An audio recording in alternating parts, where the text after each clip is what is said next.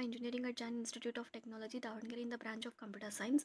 During my final year, I got uh, I got selected for J Spiders by completing the interview process and got selected as a incubation student.